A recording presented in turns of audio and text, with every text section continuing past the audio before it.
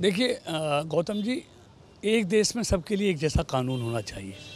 और ये हमने नहीं कहा, इस देश के सर्वोच्च न्यायालय भी बार बार कहता है कि यूनिवर्सल सिविल कोड लेकर आइए, सबके लिए एक जैसा कानून होना चाहिए।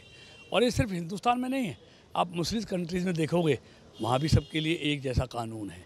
तो इसलिए कई लोग गुमराह करते हैं, और अभी इसका ड्राफ्ट आने दीजिए, सबकी समझ में आ जाएगा। कि कितनी बढ़िया चीज़ है कितना अच्छा कानून है। तो अभी उसका ड्राफ्ट बन रहा है और ड्राफ्ट जब आ जाएगा तो सबकी समझ में आ जाएगा कि बहुत अच्छा यूनिवर्सल सिविल कोड आ रहा है जो सबके लिए समान रूप से लागू होगा। किसी के साथ कोई भेदभाव नहीं होने वाला है। धर्म विशेष को टारगेट करने की कोशिश होगी प्लानिंग है? अ, विरोधी हमेशा अ, आज मोदी विरोध में वो अ, इतने अंधे हो गए हैं हर चीज़ में उनको कमियाँ नज़र आती हैं। कभी देखा है कि उन्होंने आप ये कहते हैं कि अल्पसंख्यक विरोधी हैं। आज मोदी सरकार की जो गरीब कल्याण की योजनाएँ हैं, उनका लाभ सिर्फ़ एक वर्ग को मिल रहा है। अगर आज सबको तेरह करोड़ महिलाओं को गैस का कनेक्शन दिया है तो उसमें क्या हमारी मुस्लिम बहनें नहीं हैं? आज अस्सी करोड़ लोगों को मुफ़्त में पाँच किलो अनाज दिया जा रहा है। क्या उसमें हमारे मुस्लिम भाई बहन नहीं हैं?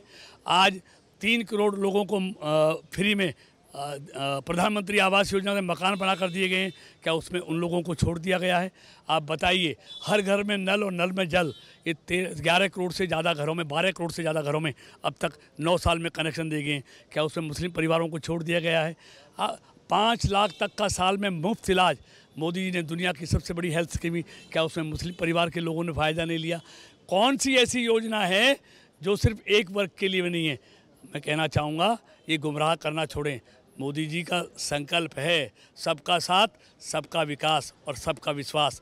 इस ध्येय को लेकर मोदी सरकार काम कर रही है किसी के साथ कोई भेदभाव नहीं है और ये मोदी सरकार की नौ साल की गरीब कल्याण की योजनाओं ने ये बता भी दिया है। तो लगभग कब तक ड्राफ्ट आ जाएगा? कुछ प्लानिंग इसको लेकर? ये तो अभी अभी बन रहा है ड्राफ्ट अभी वहाँ पर अभी उत्तराखंड में बन रहा है मिल रहा है अभी अभी सर्वदलीय मीटिंग बुलाई है।